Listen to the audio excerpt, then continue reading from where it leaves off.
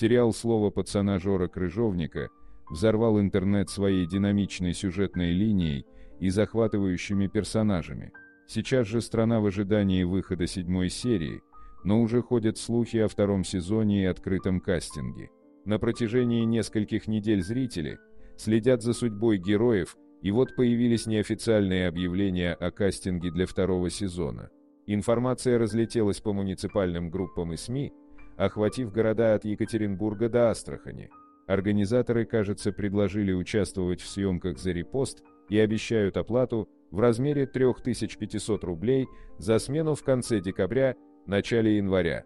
Но бросить вызов этим слухам решил Иван Янковский, исполнитель главной роли, предупредив фанатов о возможном мошенничестве. Организации в киноиндустрии регионов также опровергли эту информацию, называя ее полным бредом. Официальные сообщества сериала тоже присоединились к опровержению. Создатели заявили, что говорить о втором сезоне рано, и выразили сомнения в начале съемок в январе.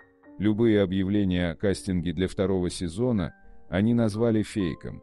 Седьмая серия, выход которой назначен на 14 декабря, уже ожидается с нетерпением. Янковский намекнул на интересные повороты событий, подписавшись «Спрыгнула ли Айгуль?». Узнаем в следующий четверг. Остается следить за развитием сюжета и надеяться, что фанаты не попадут под влияние мошенников.